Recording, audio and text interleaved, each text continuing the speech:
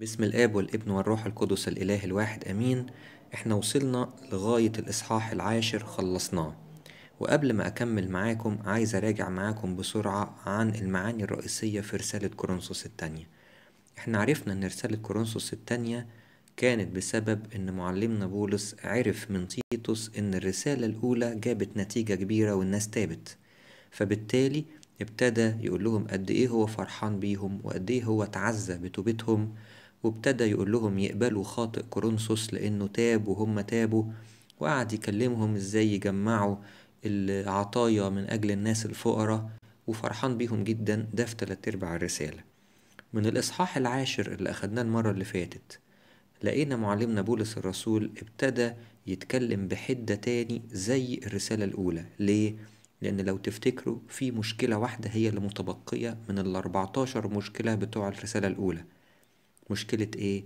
إن في أنبياء أو رسل كذبة داخلين وسطيهم بيكرهوهم في قديس بولس الرسول وبيلغوا لهم كل التعليم اللي هو قدمها لهم وفي ناس اتساقت وراهم وللأسف كمان بيعلموهم أمور لا تليق على إن هي دي المسيحية.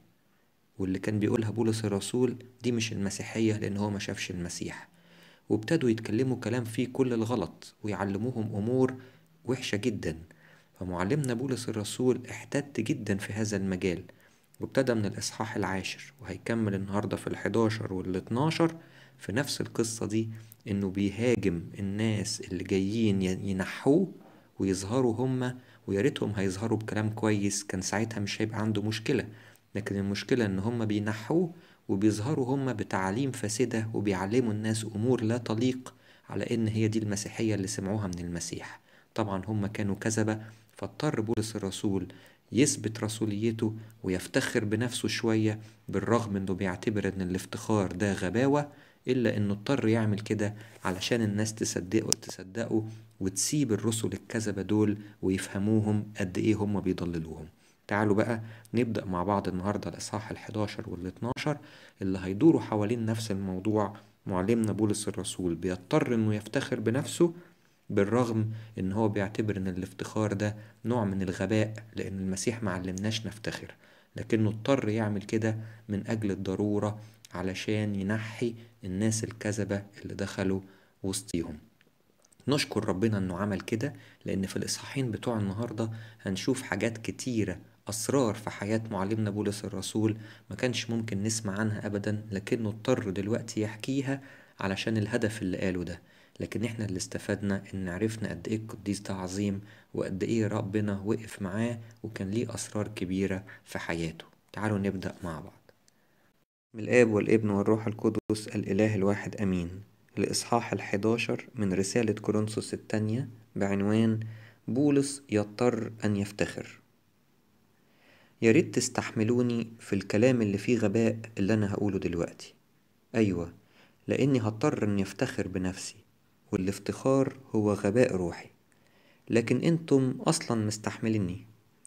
فأنا اللي هقوله ده لأني غيران عليكم لأني لما جيت لكم أنا خطبتكم للمسيح عشان أقدم للمسيح عذراء عفيفة اللي هو أنتم.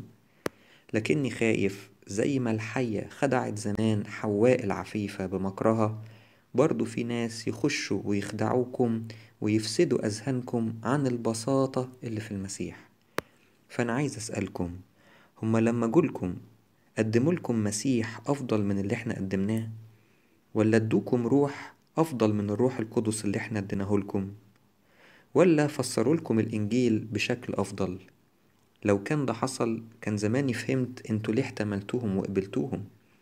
لكن أنا عارف إن كل اللي عملوه معاكم إن هم شوشوا أذهانكم. لكن اللي أنا بقدمه لكم هو اللي كل الرسل بيقدموه. أنا ما نقصتش حاجة عنهم. إذا كنتم بتشوفوني عمي في الكلام لكن مش في العلم الروحي وأظن أنتوا كلكم شهود على كده. ولا أنا غلطت إني لما ظهرت عندكم وكنت معاكم زليت نفسي وكنت متضع عشان أنتم ترتفعوا. ولا أنا غلطت إن أنا بشرتكم بإنجيل ربنا مجانا؟ عشان تبقوا عارفين أنا خدت معونات كتيرة من كنايس تانية كتير عشان خاطر خدمتكم أنتم علشان لما أجيلكم أنا ما تقلش على حد لكن أنتم تستفيدوا لأن حتى احتياجاتي الشخصية ما تقلتش عليكم فيها لكن سددها إخواتكم اللي في مقدونيا وعندكم أنتوا أنا حفظت نفسي تماما من غير ما تقل على ولا واحد منكم. ربنا شاهد. إن أنا ناوي كمان ما تقلش على أي حد في كل المنطقة بتاعتكم بتاعت أخائية. هتقولولي ليه ما بتطلبش مننا وأخدت من بتوع مقدونيا هل معنى كده إن أنا ما بحبكمش؟ لا ربنا يشهد. لكن أنا عملت كده وهعمل كده علشان ما اديش فرصة للناس اللي عندكم اللي ممكن يستغلوا طلبي منكم إن هم كمان يطلبوا منكم مطالبات مضاعفة أو يقولوا ده بولس بياخد احتياجات شخصية منكم. أنا عايز أضيع عليهم الفرصة دي لأن هم ليهم طريقة ملتوية. لأن ناس زي دول أنا بعتبرهم رسل كذبة فعل مكارين يقدروا يغيروا شكلهم ويعملوا نفسهم كأن هم رسل للمسيح. واستعجب ليه؟ ما هو الشيطان نفسه يقدر يغير شكله لشبه ملك نور. فمش غريب إن خدام الشيطان كمان يغيروا شكلهم ويعملوا نفسهم خدام بر. اللي نهايتهم في الآخر هتكون بحسب أعمالهم. آية 16 عايز أقول لكم أنا ما أحبش أفتخر لأن ده غباء وأنا مش غبي. لكني هعمل نفسي دلوقتي غبي واضطر أفتخر قدامكم. اللي بتكلم بيه دلوقتي مش كلام تقلدوني فيه لأني هست... هسلك طريق أنتوا مش متعودين عليه مني كإنسان روحي. لكني مضطر في وضع استثنائي إني في غباوة وجسارة أفتخر الافتخار اللي هقوله لكم ده. لأن في ناس كتير وسطيكم بقوا بيفتخروا حسب الجسد فلازم أنا كمان نعمل كده لأن دي اللغة اللي أنتوا بتفهموها. ده دي اللغة اللي أنتوا بتتبسطوا بيها. يا ريت تحتملوها لأن أنتوا عقلاء. لأن أنتوا احتملتوا ناس استعبدوكم وخدوا من وراكم أكل. وخدوا من وراكم أمور كتير على حس الخدمة ارتفعوا فوقيكم أهنوكم أما إحنا فكنا وسطيكم في هوان وفي ضعف لكني دلوقتي هتجرأ واضطر أقلدهم في غباوة وافتخر أنا كمان هل هم كانوا عبرانيين؟ أنا كمان عبراني هل هم إسرائيليين؟ هل هم نسل إبراهيم؟ أنا أيضا هل هم خدام المسيح؟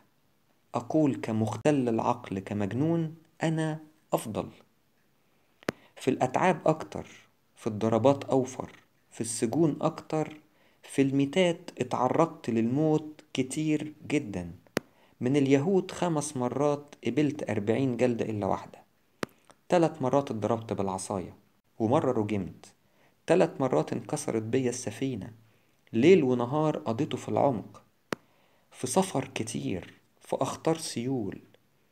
في حروب من اللصوص بأخطار من اليهود ومن الأمم. بأخطار في المدينة وفي الصحراء. بأخطار في البحر وبأخطار من إخوة كذابين.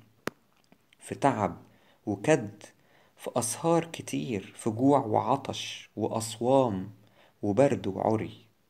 وفوق ده كله دايما عندي إحساس بالمسؤولية ناحية كل الكنايس مين فرد واحد جوه كنيسة يضعف وأنا مضعفش مين يعصر وأنا محسش بنار جوايا؟ أظن من اللي أنا قلته لكم ده كله أنا ما بفتخرش غير بالأمور اللي فيها إهانة وذل ليا لأني بفتخر بأمور ضعفي عشان ربنا يبان إن هو اللي قوي ونجاني وربنا يسوع المسيح وربنا أبو ربنا يسوع المسيح اللي مبارك إلى الأبد.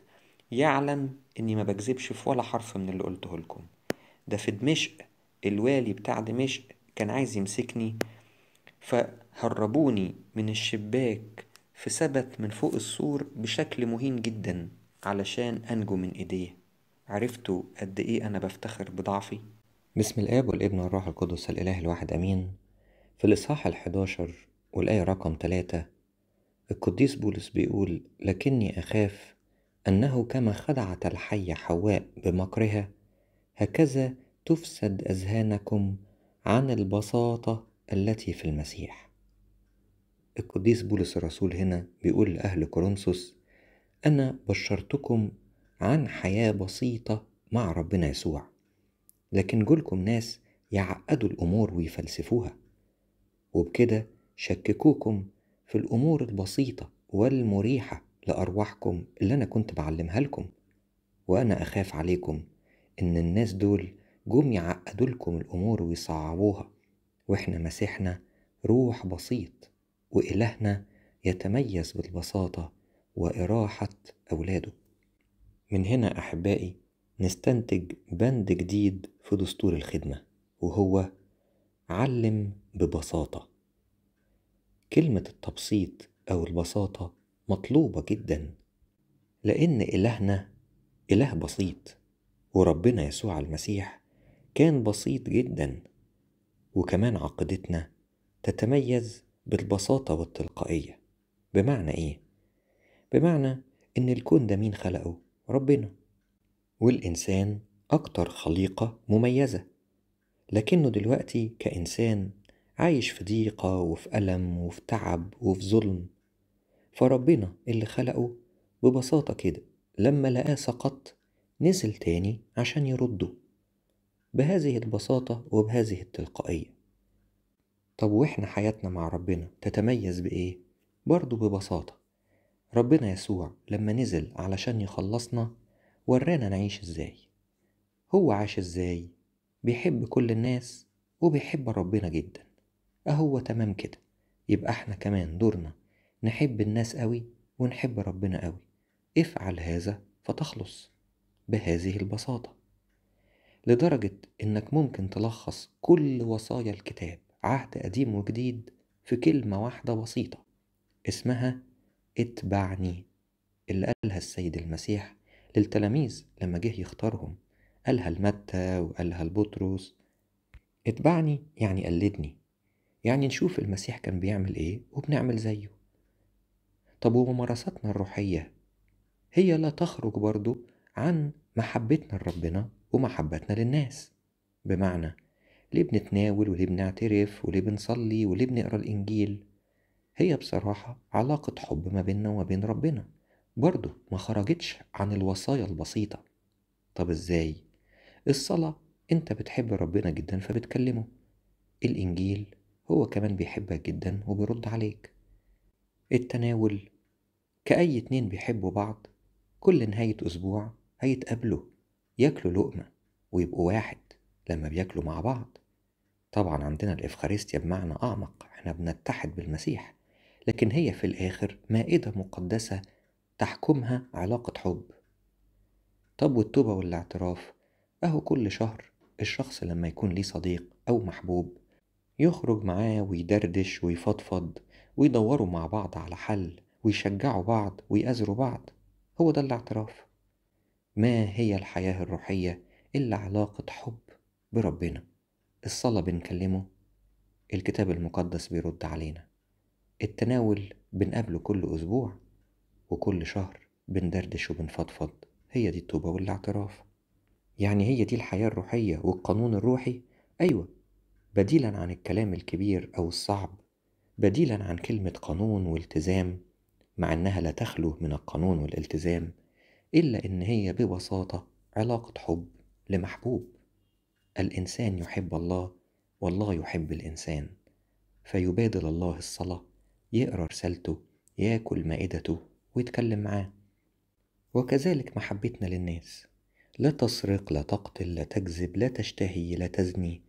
كل دي النبع بتاعها إني بحب الناس كقريبي حب قريبك كنفسك فما أقدرش أكذب عليه ولا أسرق اللي عنده ولا أغتصب منه شيء ولا أشتهي شيء مش حقي وأتمنى زواله من عنده وما أحبش أكبر على حسابه وما أحبش أدينه في غيابه فببساطة هي محبتي لغيري.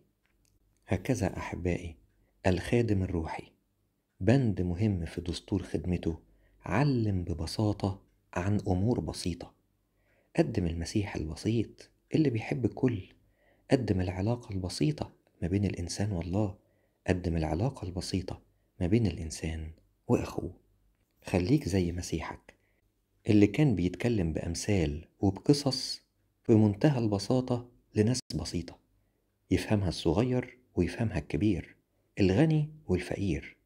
الكل يستوعبها ويحبها ويقتنع بيها ويبقى نفسه ينفذها.